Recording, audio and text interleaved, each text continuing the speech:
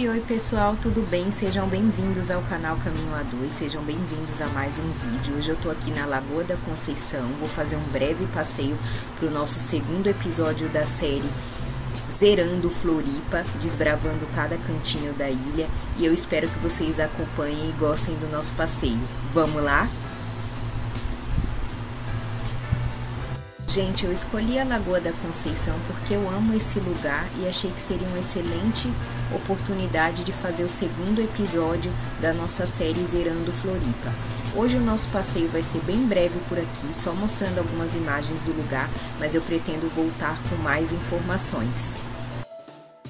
Aqui nessa direção a gente tem o centrinho da lagoa, né, que tem a, a infraestrutura, bares, restaurantes, cafés, né, tem uma, uma, grande variedade de opções né, de, de comércios para que as pessoas possam curtir ainda mais esse local. Lembrando que esse é o segundo episódio da nossa série Zerando Floripa. Toda semana vão sair episódios novos dessa série onde a gente está desbravando os cantinhos aqui de Floripa e mostrando para vocês atrações, os cantinhos mais escondidos da ilha. A gente está de fato explorando e a gente quer que vocês acompanhem muito com a gente. Bom, ali tá tendo uma construção de uma ponte, né? Tentei achar aqui no, na internet para saber onde que essa ponte vai ser finalizada, né? Onde que ela vai levar. Consegui achar essa informação ao certo, mas eu vou investigar para colocar aqui depois para vocês. Né? Hoje o nosso passeio vai ser bem breve, mas eu prometo para vocês que eu vou voltar aqui para gravar detalhes para vocês, inclusive uma rota gastronômica aqui na, na Lagoa da Conceição. Podem me cobrar aí nos comentários que eu vou voltar aqui com certeza um dia também mais ensolarado para mostrar para vocês cada cantinho desse paraíso chamado Lagoa da Conceição. Bom, aqui eu tô dando uma caminhada na Avenida das Rendeiras, né? O nome é Avenida das Rendeiras devido às rendeiras que produziam né, as peças em renda e elas viviam aqui, Era bem tradicional aqui nessa região. E é um lugar que eu e o Oséias, né, a gente que adora caminhar, a gente gosta muito pela estrutura boa das calçadas, né? As calçadas são largas, a gente gosta de caminhar aqui por conta disso. Tem ciclofaixa. É, e aqui onde vocês encontram a rota gastronômica, tem uma variedade de restaurantes, loja de açaí, sorvetes, né? E alguns costumam até expor cadeiras é, aqui na grama para que você possa comer, beber, tendo esse visual incrível e esse contato com a natureza, né? Então é muito bacana esse lugar e eu recomendo muito vocês colocarem a Lagoa da Conceição no roteiro de viagens de vocês quando estiverem aqui em Floripa.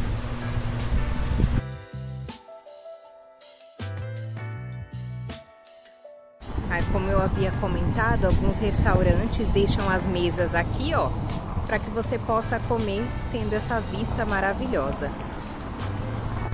Essa placa aqui está indicando que a lagoa está própria para banho, então está liberado dar altos mergulhos aí nesse lugar maravilhoso.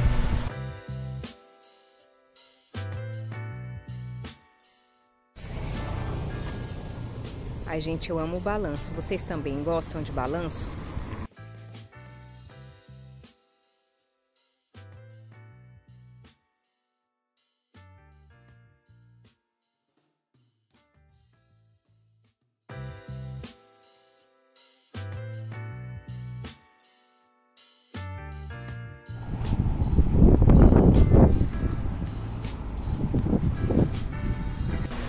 A Lagoa da Conceição, ela fica localizada no leste da ilha, tá? Então é bem fácil vir para cá.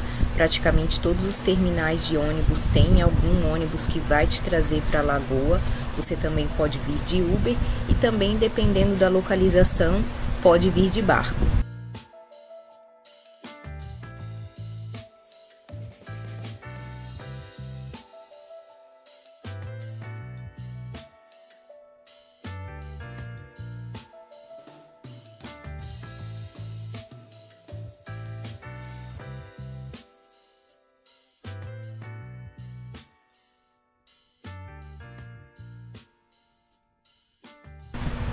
E não é só a praia da Joaquina que tem dunas, não.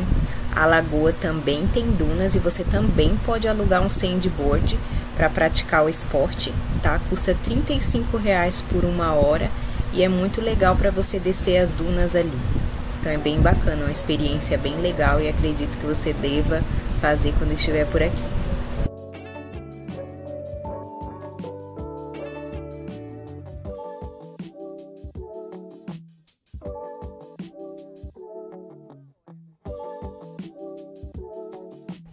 Gente, para finalizar com chave de ouro, queria dar uma dica para vocês de lugar para comer quando vocês estiverem aqui. Tá? Eu sempre venho aqui no Rufus Bar, tá? eles têm um preço bacana para prato executivo, tem 20 torneiras de chopp artesanal para quem gosta. É um espaço bem bonito, eles têm uma decoração bem legal, é rústica, é, com, com bastante plantas, é bem bonito o lugar, bem gostoso, aconchegante, o atendimento é bom também. Então eu super recomendo.